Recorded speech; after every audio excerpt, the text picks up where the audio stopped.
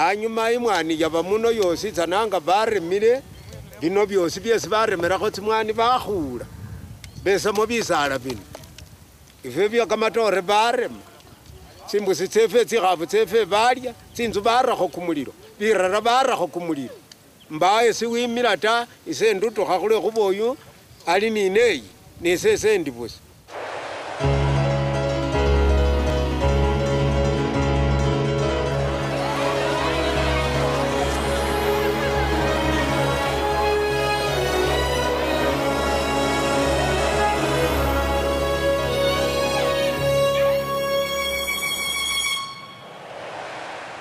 Het milieu heeft nog nooit zo in de belangstelling gestaan.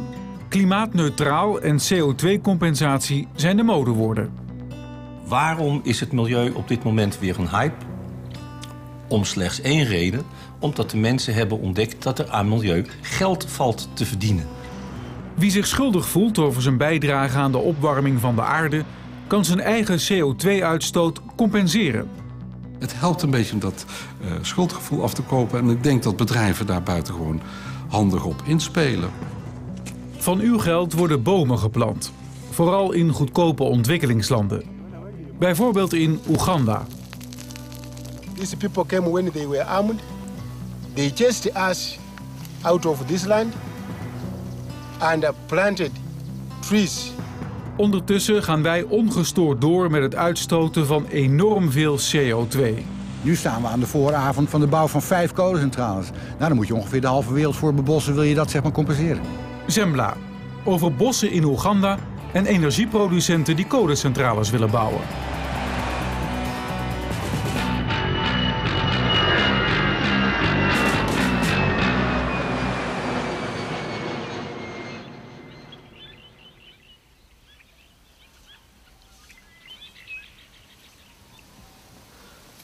I'm walking through a Dutch forest.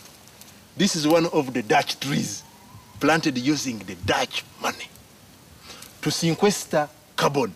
Trees, small trees were planted to take in carbon dioxide using Dutch money. And we are very grateful. See the height it has attained. And all this is carbon. Right from the seedling, a young seedling, and then we planted it grow. As it grows, it is taking in carbon dioxide using And we are very grateful. Dit is het Mount Elgon Nationaal Park in Oeganda, tegen de grens met Kenia. Hier is de Nederlandse stichting Face 15 jaar geleden begonnen met het planten van bomen. Tot nu toe zijn hier ruim 3 miljoen bomen geplant.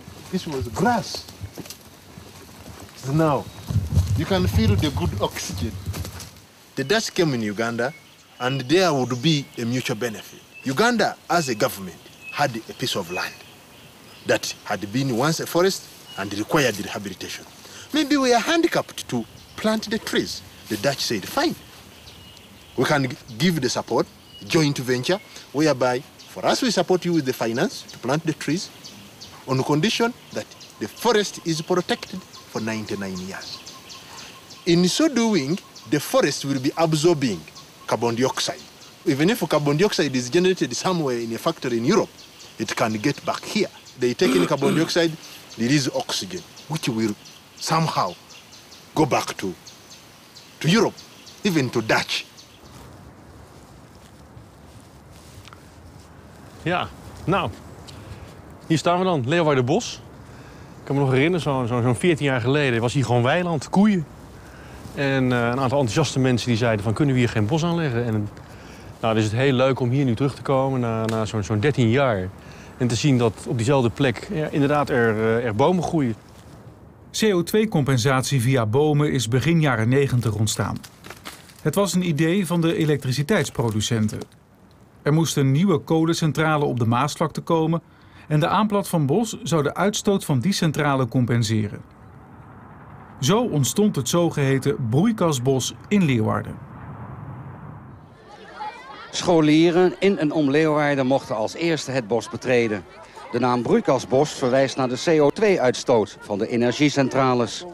De bomen moeten de CO2 opslaan en derhalve het broeikaseffect verlagen.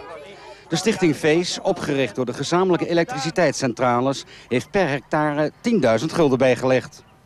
Het belang van de energiesector was de vooruitziende blik zo van... oh jee, kolencentrales stoten heel veel CO2 uit, dat weten we. We willen graag kolencentrales omdat prettig goedkope stroom levert... voor onze energie-intensieve industrie in Nederland en zo. En uh, laten we uh, zeg maar uh, vooruitlopen en kijken of we misschien wat verkennend bezig kunnen zijn om te kijken van zonder dat we aan die kolencentrales hoeven te komen, om op een andere manier van onze CO2-uitstoot af te komen. Kijk, we waren pioniers. Ik bedoel, het was nog niet gedaan daarvoor. Ik bedoel, wij waren de eerste en we moesten onze eigen spel- en speelregels maken. En daar kregen we gewoon echt de vrije hand in. Het was vooral window dressing, een beetje mooi weerspelen met... ja, en wie kon er nou in godsnaam tegen, uh, tegen het planten van bomen zijn? Nooit het gevoel gehad dat uw idealen als bosecoloog misbruikt werden... in een PR-campagne van de samenwerkende energieproducenten? Nooit, nee, nee. Nee, en joh, wat maakt het mij uit? Ik bedoel, eh, kijk, moet je kijken, het bos staat er gewoon. Kijk, dat neemt niemand zeg maar, ons en, en, en de inwoners van Leeuwarden gewoon af. Het doet goed in de PR. En in, in wezen is het, hebben ze daarmee met die Stichting Feest die ze toen opgericht hebben... hebben ze eigenlijk willen voorkomen dat later ze geconfronteerd werden met maatregelen... die bijvoorbeeld kolencentrales zouden verbieden. Maar het doel op dat moment was doorgroeien? We willen kolencentrales blijven bouwen... en alleen aan het eind van de pijp oplossingen proberen aan te dragen.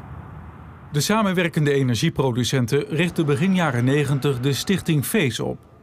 Vees moet 150.000 hectare bos planten om de CO2-uitstoot van kolencentrales te compenseren. Die ruimte is er niet in Nederland. En hier is het duur. 4500 euro voor een hectare in het Leeuwarderbos tegenover zo'n 500 euro in Oeganda. Het Midden-Afrikaanse Oeganda is een land zonder hoge CO2-uitstoot. De stichting VEES probeert nu een deel van de Nederlandse luchtvervuiling op te lossen in Afrika. Het is eh, heel goed voor de bevolking in het land, omdat je ze ook weer leert op een bepaalde manier om te gaan met het bos. Waardoor ze ook landbouw kunnen bedrijven zonder dat dat het regenwoud schaadt. Het is goed voor het herstel van het tropisch regenwoud. En het is ook goed uh, om het broeikaseffect tegen te gaan. Dus wat dat betreft zit er in feite, sla je drie vliegen in één klap. Een win-win-win situatie dus volgens Nijpels. En het kost de energieproducenten nog niets ook. De kosten worden doorberekend aan de consument. Er worden bossen geplant over de hele wereld. Maar de Nederlanders beginnen aan een ongewis avontuur. Het is puur geredeneerd vanuit het belang van die kolencentrales... om dan vervolgens daar met, met onbekende effecten iets te gaan verrichten... wat een heel klein beetje hier helpt. Hiermee zet je een trend in werking.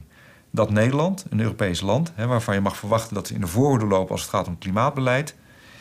Eh, toch zich laat verleiden tot hele makkelijke oplossingen waarbij je dus zeg maar je eigen energiebehoeften gedekt door conventionele energieopwekking gaat afkopen door CO2 vast te leggen door grootschalig ruimtebeslag in het buitenland. Met name in ontwikkelingslanden waar die grond relatief makkelijk beschikbaar is.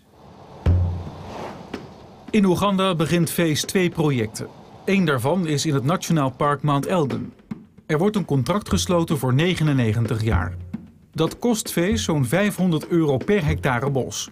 De afspraak is dat Nederland de aanplant van de bomen betaalt en de eerste vijf jaar het onderhoud voor haar rekening neemt. Thereafter, UWA has to do the maintenance. That is Uganda Wildlife. Uganda Wildlife Authority has to do the maintenance of the forest, its protection to the agreement period of 99 years, a minimum. 99 years? Yes, because that's time long enough deemed to for the trees to have matured, taken in enough carbon, and by then the forest will be wow. De bomen zijn van de Oegandezen. De Nederlanders hebben het exclusieve recht op de hoeveelheid CO2 die de bomen opslaan. Deze CO2-rechten, zogenaamde credits, zijn in Nederland nu al ruim tien keer meer waard dan de bomen gekost hebben. Het primaire doel van FEES is natuurlijk ook niet geweest om geld te brengen bij de Oegandezen primaire doel van FEES is om bossen te beplanten die bijdragen aan het verminderen van de CO2 uh, eh, in, in de lucht. Uh, en passant wordt meegenomen dat we uh, die bossen laten aanleggen door de lokale bevolking. Dus creëer je werkgelegenheid. Maar het is niet zo dat het geld wat gegenereerd wordt met die credits... dat dat teruggeploegd zou moeten worden naar Oeganda. Dat, dat is de doelstelling van FEES ook niet. We gaan naar het dorp Buwabwala. Hier wonen meer dan 4000 mensen. Dit dorp is ontstaan nadat de mensen in 1992